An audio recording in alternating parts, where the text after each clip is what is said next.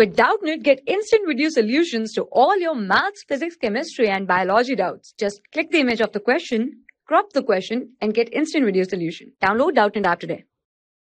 Hello everyone. So in this question it is given that why cyclooctatetraene is a non-polar molecule.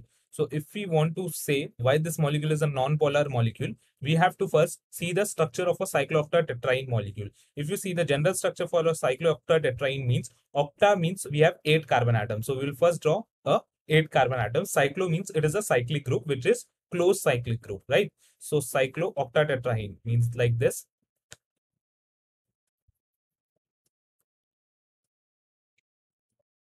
So this is the structure of the cyclooctatetraene. If you count the carbon atoms, you will have 1, 2, 3, 4, 5, 6, 7 and 8. Total 8 carbon atoms are present. Now the double bonds are present which are conjugated in system.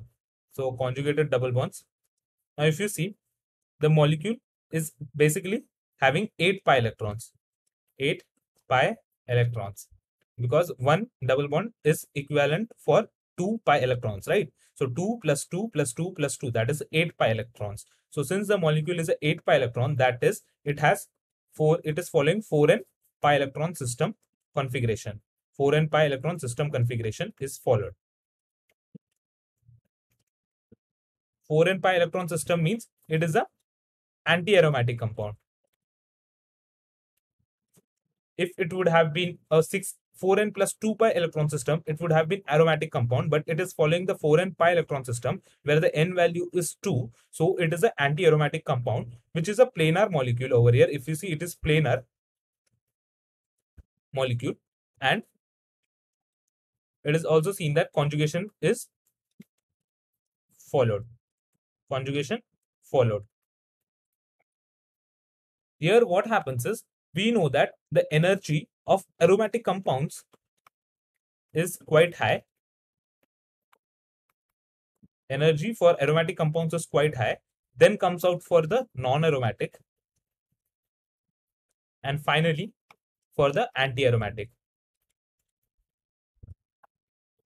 Now the bigger structures, what happens is they change the planarity from planar to non-planar for becoming a non-aromatic compound because anti-aromatic compounds are not stable hmm. or you can say they are unstable. So to form or you can say to become non-aromatic, they change their planarity from planar to non-planar. And if you see this molecule that is a cyclooctatetraene changes to non-polar by converting it into a tub-like structure.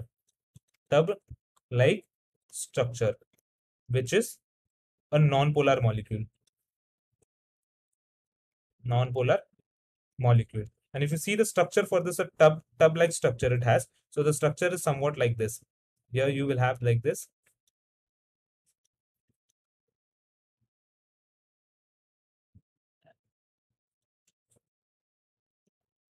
So this is the tub-like structure of cyclooctatetraene. If you count the carbon atoms, it should be 8. So 1, 2, 3, 4, 5, 6, and 7, 8. So total 8 carbon atoms and henceforth the structure is successfully valid. And this changes the structure from planar to non-planar. And for the energy reasons or you can say the stability reasons the structure changes from planar to non-planar. As you can see the non-aromatic compounds are more stable than anti-aromatic compound. Here what happens now is the planarity has changed. It becomes non-planar. And since it is a non-planar we can say the compound is non-aromatic. Implies it is a non-aromatic compound so due to stability reasons, we say the mol the molecule which we have that is the cyclooctatetraene changes its structure from polar to non-polar compound. So this will be the answer for this question. Thank you. For class 6 to 12, IIT JEE and NEET level. Trusted by more than 5 crore students. Download Doubtnut app today.